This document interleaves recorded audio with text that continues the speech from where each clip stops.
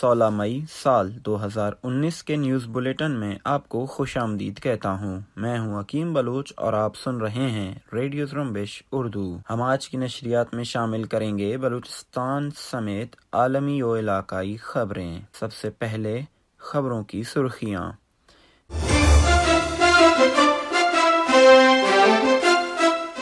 B H چاروں کے رہنما، نواز، عطا بلوچ کی عدم بازیابی کے خلاف تنظیم کا احتجاجی مظاہرہ۔ جنرل قادر بلوچ کے بیان پر بی آر پی قائد کا رد عمل۔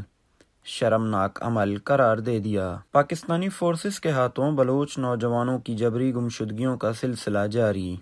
کوئٹہ اور کراچی سے تین طلبہ سمیت چار افراد لاپتہ۔ بلوچستان مختلف حادثات و واقعات میں دو افراد ہلاک، بیس زخمی۔ بلوچستان نیشنل پارٹی نے کبھی بھی مسلح کارروائیوں کے واقعات کی حمایت نہیں کی۔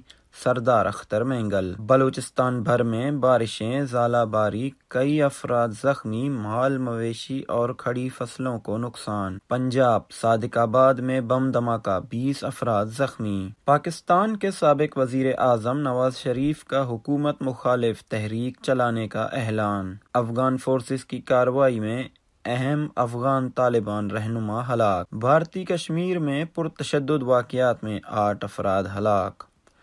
امریکی زیادتیوں اور اقدامات پر تحمل کا مظاہرہ کر رہے ہیں جواد ظریف۔ فلسطینی حکومت نے امریکہ کی طرف سے یروشلم کو اسرائیلی صدر مقام تسلیم کرنے کا اعلان عالمی عدالت میں چیلنج کر دیا۔ متحدہ عرب امارات کے پانیوں جہازوں پر تخریب کاری میں ایران نواز لوگ شامل ہیں امریکہ۔ ایران پابندیوں کے بعد جلد مذاکرات کے لیے مجبور ہوگا۔ لیبیا کی پارلیمان نے اخوان المسلمون کو دہشت گرد تنظیم قرار دے دیا۔ آئیے اب سنتے ہیں خبریں تفصیل کے ساتھ ہمارے ساتھی دوستین مراد بلوچ سے۔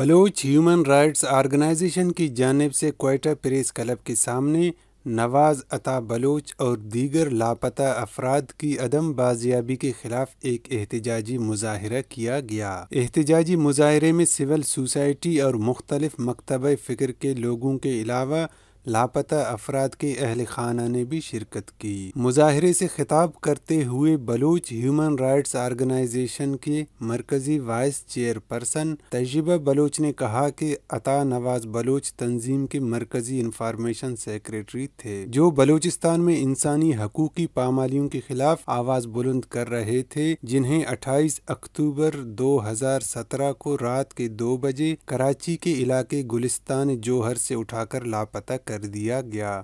جن کا تاحال کچھ پتہ نہیں۔ عطا نواز کی جبری گمشدگی کے خلاف تنظیم نے کراچی میں علامتی بھوک ہڑتالی کیمپ بھی لگایا اور کوئٹہ اور کراچی میں احتجاجی مظاہرے بھی کیے، لیکن انہیں ابھی تک بازیاب نہیں کیا گیا۔ اور ہم نے اپنے احتجاج کے دوران متعدد بار اس بات کا بھی اظہار کیا ہے کہ نواز عطا بلوچ اگر کسی غیر قانونی کام میں ملوث ہیں تو اسے عدالتوں میں پیش کر کے قانون کے مطابق سزا دی جائے۔ بلوچ رہنما اور بلوچ ریپبلکن پارٹی کے سربراہ برہمدغ بگٹی نے سماجی رابطے کی ویب سائٹ ٹویٹر پر جنرل قادر بلوچ کے بیان پر رد عمل دیتے ہوئے کہا ہے کہ ریٹائرڈ جنرل جنرل قادر خود بلوچ ہونے کے باوجود پاکستانی خفیہ ایجنسیوں کو باہر بیٹھے بلوچ حقوق پر بات کرنے والے لوگوں کے خلاف کارروائی کا کہہ رہے ہیں، جو کہ ایک شرمناک عمل ہے۔ آخر میں بلوچ رہنما برہمدغ بگٹی نے جنرل قادر کو مخاطب کرتے ہوئے کہا ہے کہ چابلوسی کی بھی کوئی حد ہوتی ہے، جنرل صاحب۔ واضح رہے، دو روز قبل ریٹائرڈ جنرل قادر بلوچ نے پاکستانی خفیہ اداروں کو بیرون ممالک میں مقیم بلوچ رہنماؤں کو ٹارگٹ کرنے کا مشورہ دیا تھا۔ بلوچ طلبہ سمیت دیگر مکاتب فکر کے لوگوں کی پاکستانی افواج کے ہاتھوں جبری گمشدگیوں کا سلسلہ جاری ہے۔ گزشتہ روز کراچی کے علاقے گلشن اقبال میں پاکستانی فورسز نے ایک بلوچ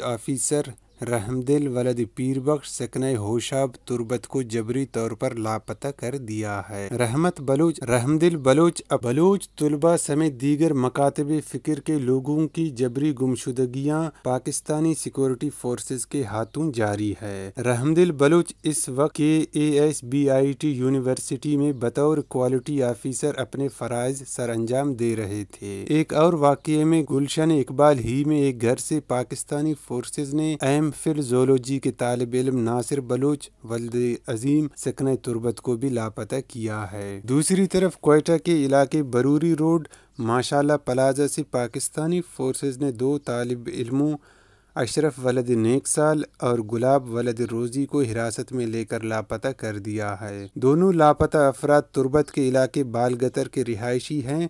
جو تعلیم کے سلسلے میں کوئٹہ میں مقیم تھے۔ ڈاڈر سے کوئٹہ جانے والی ایک مسافر ویگن تیز رفتاری کے باعث بے قابو ہو کر الٹ گئی ہے۔ ویگن کے الٹنے سے پندرہ مسافر زخمی ہوئے ہیں، جن میں سے پانچ کی حالت تشویشناک تھی، جنہیں کوئٹہ منتقل کیا گیا ہے۔ چمن سے متصل افغان بارڈر پر پاکستانی ایف سی نے عام افراد پر براہ راست فائرنگ کی ہے، جس کی وجہ سے ایک خاتون گل بی بی زوجہ شادی خان اور ایک نوجوان حبیب اللہ ولد سالم محمد شدید زخمی ہوئے ہیں۔ کوئٹہ ہزار گنجی میں ایک منی پیٹرول پمپ میں آگ لگنے سے تین افراد جھلس کر زخمی ہوئے ہیں، جنہیں بولان میڈیکل کالج منتقل کیا گیا ہے۔ کوئٹہ میں مشرقی بائی پاس بکرا منڈی کے قریب فائرنگ کے ایک واقعے میں ایک شخص ہلاک ہوا ہے، جس کی شناخت ناصر خوراسانی کے نام سے ہوئی ہے۔ دوسری طرف کوئٹہ میں مشرقی بائی پاس ہی کے قریب بھوسا منڈی میں ایک گھر کی چھت گر گئی ہے، جس میں ایک خاتون ہلاک ہو گئی ہے۔ بلوچستان نیشنل پارٹی کے سربراہ سردار اختر مینگل نے گوادر حملے کو افسوسناک عمل قرار دیتے ہوئے کہا ہے کہ اس واقعے کی جتنی بھی مذمت کی جائے کم ہے۔ ایک پاکستانی نجی ٹی وی چینل کے پروگرام میں گفتگو کرتے ہوئے انہوں نے کہا کہ بلوچستان نیشنل پارٹی نے کبھی بھی مسلح کارروائیوں کے واقعات کی حمایت نہیں کی ہے۔ اور ہم سمجھتے ہیں کہ کسی بے گناہ کو مار کر جو بھی کام کرے گا وہ غلط ہے۔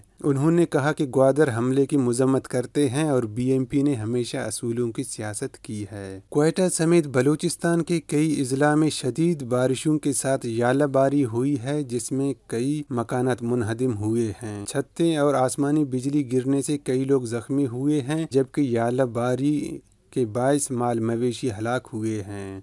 اور کھڑی فصلوں کو بھی شدید نقصان پہنچا ہے۔ پنجاب کے ضلع صادق آباد میں نیشنل ہائی وے پر واقع ایک بینک میں دھماکے کے نتیجے میں بیس افراد زخمی ہوئے ہیں۔ تمام زخمی راہگیر بتائے جاتے ہیں جن کو صادق آباد اسپتال منتقل کیا گیا ہے، جن میں سے چار کی حالت تشویشناک بتائی گئی۔ دوسری طرف پنجاب کے علاقے پاک پتن میں ایک شخص نے سحری کے وقت، دوسری طرف پنجاب کے علاقے پاک پتن میں ایک شخص نے سحری کے وقت نیند سے نہ اٹھنے پر اپنی ہی بیٹی پر فائرنگ کر دی ہے، جس سے وہ جام بحق ہو گئی ہے۔ کوٹ لکھپت جیل لاہور میں قید سابق وزیر اعظم پاکستان محمد نواز شریف نے اپنی پارٹی رہنماؤں کو عید الفطر کے بعد حکومت کے خلاف تحریک چلانے کی اجازت دے دی ہے۔ لاہور کی کوٹ لکھپت جیل میں آج مسلم لیگ نون کے قائد محمد نواز شریف سے ان کی صاحبزادی مریم نواز سمیت اہل خانہ اور پارٹی رہنماؤں نے ملاقاتیں کی۔ ذرائع کے مطابق نواز شریف نے پارٹی رہنماؤں کو عید الفطر کے بعد بڑھتی ہوئی مہنگائی، بے روزگاری اور حکومتی پالیسیوں کے خلاف احتجاجی مہم تیز کرنے کی ہدایت کر دی ہے۔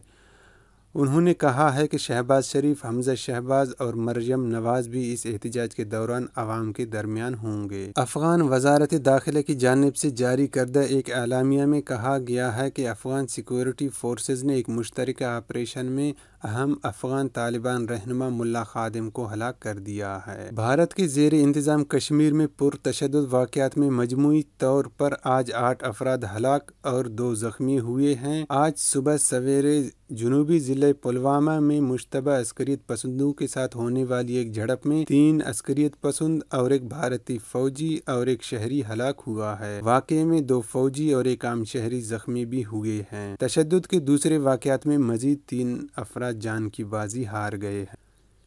ایرانی وزیر خارجہ جواد ظریف نے ٹوکیو میں جاپانی وزیر، ایرانی وزیر خارجہ جواد ظریف نے ٹوکیو میں جاپانی وزیر خارجہ سے ملاقات کی ہے، جس میں انہوں نے کہا ہے کہ ناقابل قبول امریکی پابندیوں کے باوجود ایران تحمل کا مظاہرہ کر رہا ہے۔ انہوں نے مزید کہا ہے کہ یہ وقت خطے کے لیے بہت مشکل ہے۔ امریکہ کی جانب سے کشیدگی میں اضافہ ناقابل قبول ہے۔ جس پر جاپانی وزارت جس پر جاپانی وزیر خارجہ کا کہنا تھا کہ جاپان کو مشرق وسطی کی صورتحال پر گہری تشویش ہے، اس غیر معمولی مسئلے اور کشیدگی کی خاتمے کے لیے ہر ممکن کوشش کریں گے۔ فلسطینی حکومت نے امریکہ کی جانب سے مقبوض بیت المقدس کو اسرائیل کا دارالحکومت تسلیم کیے جانے کا فیصلہ ہیگ میں قائم عالمی عدالت میں چیلنج کر دیا ہے۔ فلسطینی وزارت خارجہ کی طرف سے بدھ کے روز جاری کردہ ایک بیان میں کہا گیا ہے کہ یروشلم کو اسرائیلی ریاست کا دارالحکومت تسلیم کیے جانے کا امریکی فیصلہ اشتعال انگیز قدم ہے اور بین الاقوامی قوانین اور اقوام متحدہ کی قراردادوں کی توہین ہے۔ امریکہ نے کہا ہے کہ امریکہ کی نیشنل سیکیورٹی ایجنسی کو یقین ہے کہ چند روز قبل متحدہ عرب امارات کے قریب سمندر میں تیل بردار بحری جہازوں پر تخریب کاری کے حملے کے پیچھے ایران نواز عناصر کا ہاتھ ہے۔ امریکی حکومت کے ایک سینئر عہدیدار کا کہنا تھا کہ اس بات کے کبھی امکانات موجود ہیں کہ چند روز قبل امارات کے قریب دو سعودی، ایک اماراتی اور ایک ناروے کی بحری جہاز پر حملوں میں ایران کے حامی جنگجو گروپ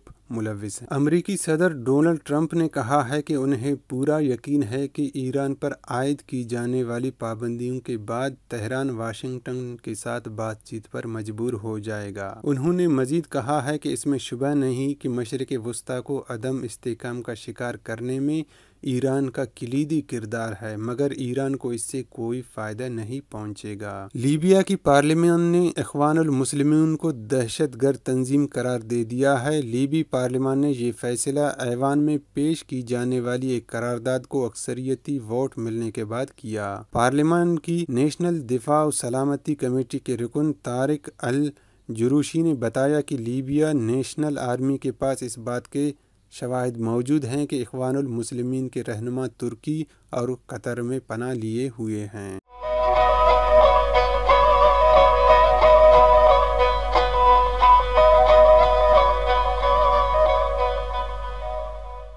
آج کی نشریات میں شامل تھا اتنا ہی کچھ۔ کل تک کے لیے اجازت دیجیے اگر آپ ریڈیو زرمبش کی تازہ ترین خبریں پڑھنا چاہتے ہیں تو وزٹ کیجیے ہمارا ویب سائٹ، پتہ ہے W W W dot Z R U M B E S H dot com اگر آپ روزانہ کی بنیاد پر ریڈیو زرمبش کی نیوز بلیٹن سننا چاہتے ہیں تو ہمارے یوٹیوب چینل کو سبسکرائب کریں اور بیل آئیکن کے بٹن کو دبانا مت بھولیے۔ شکریہ۔